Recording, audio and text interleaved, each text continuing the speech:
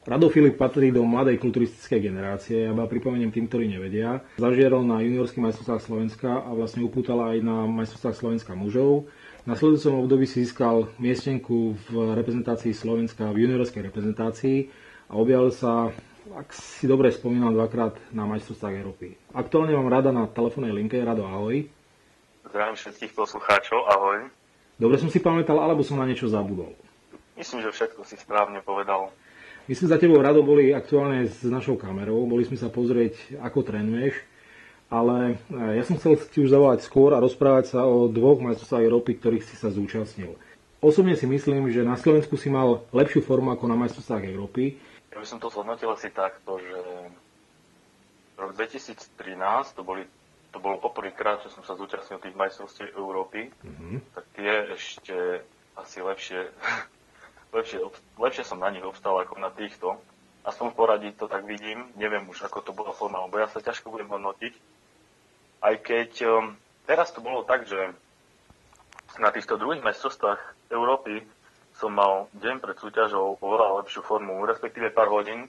Skôr by som to pokazil asi, skôr ako by som to opísal, že pokazil som to pár hodín tesne pred nastupom na pódium, kde nohy ostali kvázi, ako by som povedal, lepšie ako vršok. Ako keby som prišiel, čo ja viem, po rukách na pódium, že také boli zliatejšie. Nebudem ťa kritizovať. Osobne si myslím, že Európa sa našim chlapcom, myslím ako kulturistom vôbec nevydarila. Nikto nemal na pódiu nejakú skvelú formu. To znamená, bolo vidno, že na Slovensku ste boli všetci výrazne lepší ako na, na Európe. Myslím na tom súťažnom pódiu. Čiže niekde sa stala chyba, čo myslíš kde? Vieš čo, ono, možno to nie je chyba, skôr je to tým, že už to bola tretia súťaž po sebe. Uh-huh. No a človek, ťaž, človek si proste povie, že tak dobre, no na Slovensku máš nominačnú súťaž, na ktorej som bol na juniorke, tam som mal fakt asi doposiaľ najlepšiu formu tento rok, ako som sa ukázal. No a potom to už len šlo dole vodou, hej, lebo človek chce ukázať znova na ďalšej súťaži na Slovensku, ako som bol v tej Žiline, že ako nechcem sa nechať zahambiť, tak predsa tam niečo pošpekulujem, hej, spravím nejaké odvodnenie ľahké a tak a to telo proste si to všetko pamätá.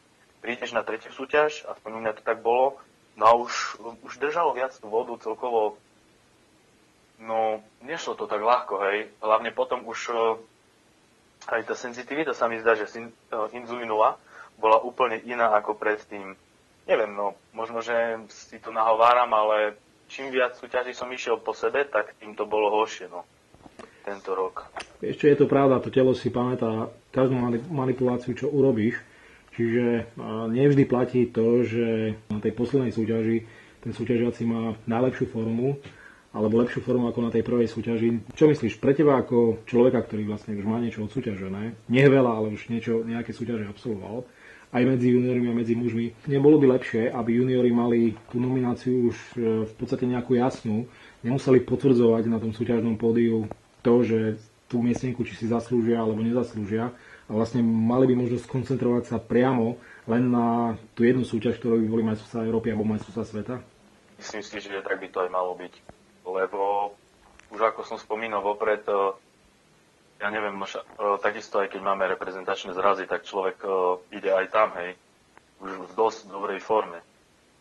A si myslím, že tie súťaže fakt, ono to neskutočne zaťaž pre organizmus. Tie posledné, akože, ako by som povedal, doľaďovania, ako som vravil, to odvodňovanie a to všetko. To tak dokáže rozbiť organizmus, že ja si myslím, že ja som sa len pol roka z toho spamätával, čo sa mi musel dostať na sa mi museli upraviť naspäť hladiny, hej, testosterónu, taktiež som držal v sebe viac vody aj nejaké 3-4 týždne po súťaži. Čiže s, súhlasím s tebou, že bolo by to veľa lepšie, keby človek proste prišiel na ten zraz, Takisto sme v spolupráci s reprezentačnými trénermi, čiže ono by to malo byť tak, že my, čo sme reprezentanti, no keď sa tak môžem nazvať, tak by sme mali ísť vlastne na základe zarazu a nie na základe súťaže. Tá nominácia, zle som povedal, nie nominácia, ale to nahlasovanie na tie súťaže každá federácia robí v predstihu. To znamená, že viac menej už niekoľko týždňov pred danou veľkou súťažou je jasné, z akej skupiny ľudí sa budú vyberať tie reprezentanti. Ak si dobre spomínam, tak nikdy to nie je tak, že do jednej kategórii máme nejakých dvoch, troch, štyroch súťažiacich a nevieme sa rozhodnúť, kto by mal a kto by nemal na, tom súťažnom pódiu nastúpiť. Uvidíme, ako to dopadne v tomto roku, ako dopadne nominácia na majstrovstvá sveta. A ja som povedal, že tých súťažíš krátko, ale absolvoval si už veľa súťaží, alebo pomerne veľa súťaží. Ak si dobre spomínam, Rado, ty si ešte stále junior, tak? Áno, je to tak. Ešte budúci rok budem celý rok juniorom. Uh-huh. Ja registrujem, že ty si sa vlastne stále pripravoval len na nomináciu na majstrovstvá Európy, nie na majstrovstvá sveta. Prečo? Vieš čo? Neviem sám. Je to tak, že proste ako som začal s Davidom, poprvýkrát, keď som šiel v roku 2012 na tie súťaže, mm-hmm. tak uh, nejako sa mi to, neviem, zapáčila tá jar.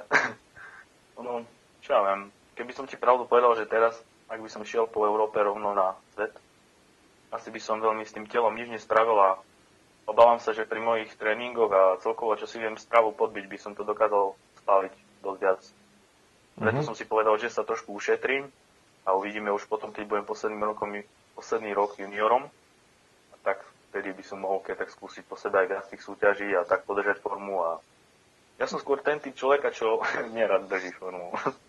čo si dopraje hneď, koľko môže, čo to telo dá. No vieš, ja som ťa videl, ja som ťa videl minulý rok, keď si si doprial, čo telo ako znesie. Mm, videl som ťa aj teraz, myslím, že teraz si výrazne lepší výrazne si lepší nielen formou, ale aj, aj proporčne je to niekde úplne inde. A otázka, čo sa týka budúcej súťažnej sezóny. Európa alebo svet? No, takže určite Európa. Mne sa Španielsku páči. Ako ne, neviem, kde to bude, to sa svem. Rád by som išiel možno aj aj. Ako vravím, ak sa mi podarí podržať formu, čo si myslím, že už budem vedieť viac, respektíve opäť budem skúsenejší, tak by som skúsil aj ten svet. Prečo nie? Otázkou pre mňa je, nezodpovedanou, v akej kategórii budeš chcieť nastúpiť. Z toho dôvodu, že juniori to majú také, také zvláštne. Oni majú kategóriu do 75 kg a nad 75 kg. Uh, osobne si myslím, že 75 tam, tam tá konkurencia pre teba by bola uh, nižšia alebo slabšia. Pravdou ale je, že kategória na 75 uh, je tvojou kategóriou. Tvoja hmotnosť, ak si dobre spomínam, sa pohybuje tesne nad hranicou 80 kg na podiu, je to tak? Áno, je to nejakých 83 kg. Tak, dobre si spomínam.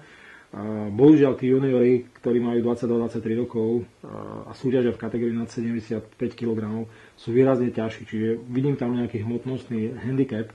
Zrejme nebudeš stiahovať do 75 ale budeš tlačiť na pilu a budeš sa snažiť mať v roku 2015 ešte viac kilo ako 83, tak? Toto je taká zaujímavé. Toto je také celé zaujímavé v tom, že možno aj nebudem tak tlačiť na pilu, lebo keď som tlačil na pilu, tak si myslím, že to šlo len opačným smerom. Mm-hmm. Ale skúsim vlastne tak nabrať, čo sa bude dať. Čím viac sa bude dať, tak tým viac naberiem. S tým, že vlastne nebudem sa teraz nejak e, tváriť, že som nejaký handicapovaný tým, že mám o 10 kg menej ako moji superi. Skôr to predvediem takou symetriou alebo sa mi snad podarí spraviť takú presekanosť, čo možno nebude mať každý z nich. Hej. Že skôr by som to týmto chcel, že nemusí byť tá váha taká podstatná. Hej. Ja ti držím prsti, že nech sa to zadarí. Pravdou ale je, že budúci rok pripravuje sa, alebo chcel by sa nominovať na Európu David Oravec. David Oravec je vlastne tvoj rovesník, je však podstatne ťažší. Čo ty na to? Čo ja na to? tak rád si s Davidom zasúťažím určite veľmi rád a proste, ako vravím, každý rád vyhráva, hej, ale rád sa teda porovnám a nech už to shodnotia rozhodcovia, aj čo sa im viac páči, lebo darmo to môže byť taký rok, že sa rozhodcom bude páčiť masívnosť. No môže prísť taký rok, že budú skôr uprednostňovať nejakú krásu alebo symetriu tých svalov. Ono je to také trošku subjektívny názor u nich niekedy by som povedal, takže preto vravím, ak sa mi podarí forma, tak nemusí byť rozhodujúca váha. Ty si na Slovensku zvyknutý na to, že kde prídeš, tam vyhraješ. To znamená, že ty v podstate vo svojej kategórii nemáš konkurenciu. Otázkou je, že či tie výsledky na Európy či ťa trošičku nedemotivujú. Nie.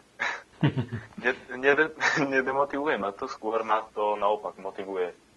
Ja celkovo aj sledujem občas konkurenciu, ale to až po súťaži. Nikdy nie pred súťažou, to ma vôbec nezaujímajú. Ani na súťaži ma konkurencia nezaujíma, ale potom si ju veľmi rád pozriem a ja skôr pozerám na seba, ako seba rozvíjava. Nie je to proste, že Pozerám na ostatné.